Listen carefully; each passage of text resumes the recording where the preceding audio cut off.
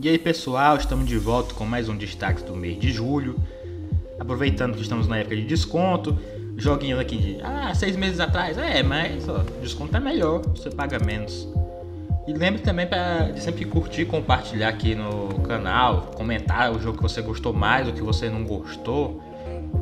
Pra ajudar também e também pra gente né, entrar em contato. Então, começando por Blastronaut, que é um jogo em que você vai para um planeta com a nave quebrada. Como sempre, né? Um náufrago. O objetivo é conseguir recursos para construir máquinas e conseguir armas para te ajudar a sobreviver. Não tem aquele sisteminha de comida, por exemplo, ah, tem que caçar comida, ah, tem que caçar bebida, não. A única coisa que você tem para gerenciar aqui é o combustível do jetpack. E também tem que ter muito cuidado para não se explodir. Eyes in the Dark é um roguelite de ação em que uma garota visita a mansão de seu avô, que está absolutamente corrompida com um material preto assim das trevas. A arma dela é uma lanterna que pode ser melhorada e mudada, assim como outros atributos, como vida, dano, aquelas coisas. Naquele estilo, né? Se morreu, não tem problema, pode ir de novo. E se ganhar também, você sempre pode voltar e querer mais.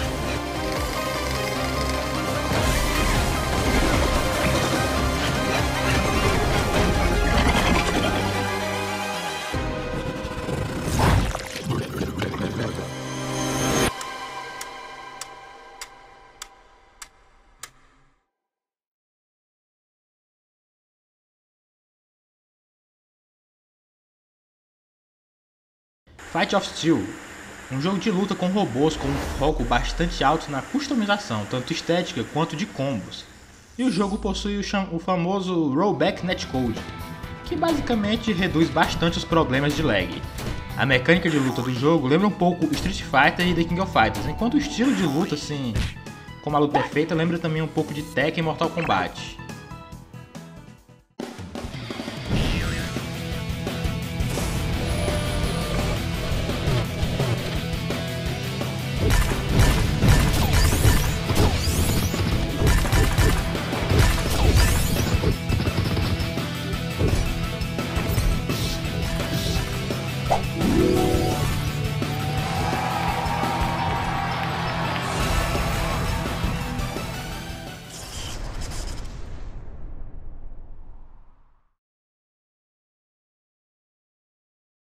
I'm back for the people. Final Earth 2 é um jogo de construção de cidades que vem lá daqueles épocas dos jogos online, Congregate, os jogos, Newgrounds, esse tipo de coisa. Aqui você tem que, obviamente, gerenciar recursos e pessoas com foco na criação vertical das estruturas.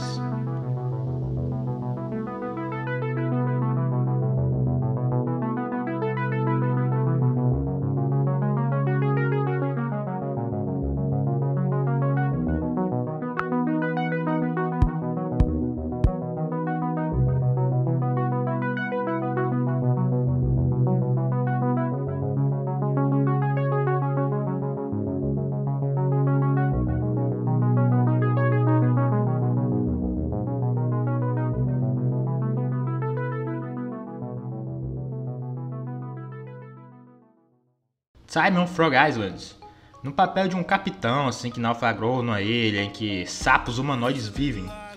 O objetivo aqui é simples, ajudar eles para conseguir consertar seu barco. O jogo não tem combate nem nada do tipo, são apenas missões junto a uma ilha e com personagens cada qual com sua personalidade. Então é aquele jogo assim, mais relax assim que você explora, vai com a sua família, é aquele jogo assim bem liberado para todo mundo. Não tem nenhum tipo de drama não.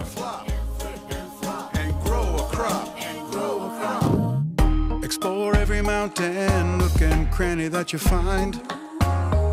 Forget who you were, become one with the frog kind. Come and visit the tavern for a nice relaxing brew. But we'll go inside of it. Well, sailor, that's up to you. Catch a fish and make a wish, shore to shore. Spend a coin, get a home, set a new high score. They swap and hop, and shop and drop.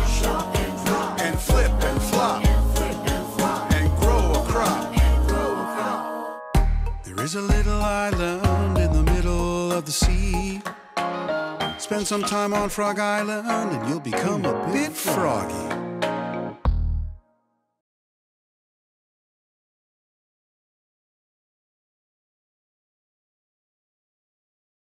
Gloomgrave é um roguelike em primeira pessoa e também um dungeon crawler, ou seja, você vai andar por uns calabouços cheios de inimigos e armadilhas e quando inevitavelmente você morrer, vai voltar do comecinho.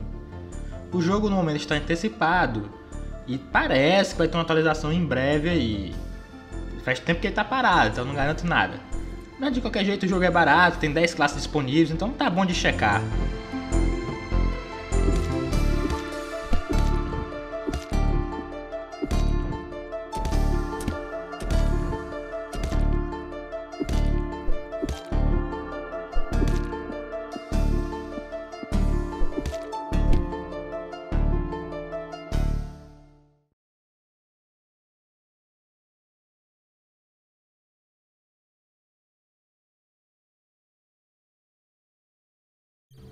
Mothman 1966 é um jogo em que você vai ter que tomar decisões para seguir a história ou morrer tentando. A história é sobre os monstros mariposomens que aparecem nessa, cidade assim, de interior dos Estados Unidos. E um grupo de adultos vai investigar isso. É bem um visual novel com alguns puzzles no caminho, mas acho que o diferencial mesmo deles é o visual que com a ambientação ajuda a ficar mais pro suspense.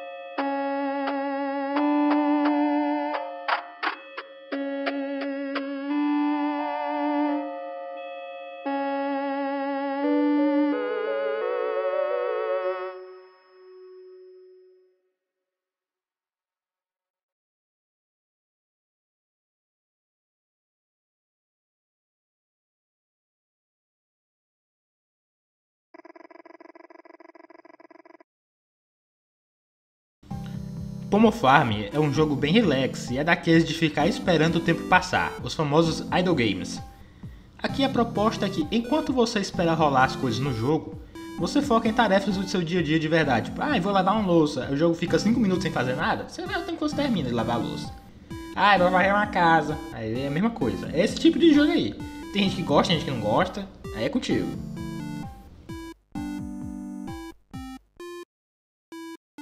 Silence. The Tales of Bistun, um jogo inspirado num poema persa, bem desconhecido. Eu já não conheço nenhum poema persa, quanto mais o desconhecido, né? Então, você é um entalhador de pedras que perdeu a memória e tem que salvar a montanha de um tipo de, de corrupção que está lutando uns monstros lá na montanha. E ao mesmo tempo você também tem que purificar as árvores que são responsáveis pela natureza e ecologia. O combate é isométrico e você ainda sai dando martelada nos caras.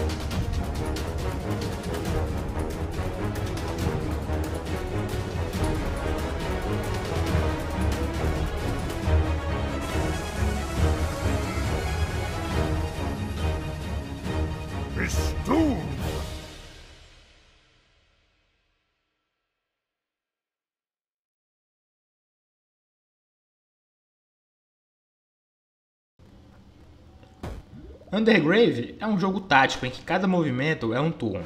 Você já deve ter visto assim, jogos parecidos. A ideia aqui é ir combando, lançando a espada, teleportando e de preferência não deixar o inimigo agir.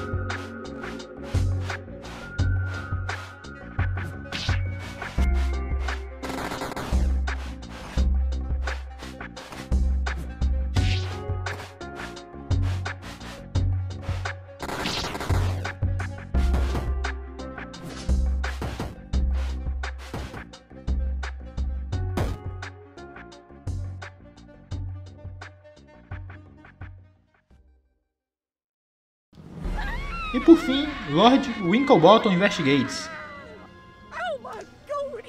Que é um jogo point and click de mistério, que você é tipo um Sherlock Holmes, só que um girafa. E o teu parceiro aqui é um hipopótamo. Além dessa parte mais exótica, assim, né? Temos que buscar itens nas áreas para dar progressão na investigação. Algo já bem tranquilo. Deve ser legal ver esse mundo aí rodando, né? Não é a primeira vez que tem jogos point and click com animais em vez de gente. Mas é sempre uma coisa diferente quando, no mundo que toda visual novel hoje em dia é de anime, né? Então, tá aí. E essas foram as recomendações finais do mês de julho. Valeu, pessoal. Are you sure you know what you're doing? The Guildfrey estate will not be held liable for any damage or injury caused by incorrect operation of that device. My word. This plant really does look frightfully tasty. Oh,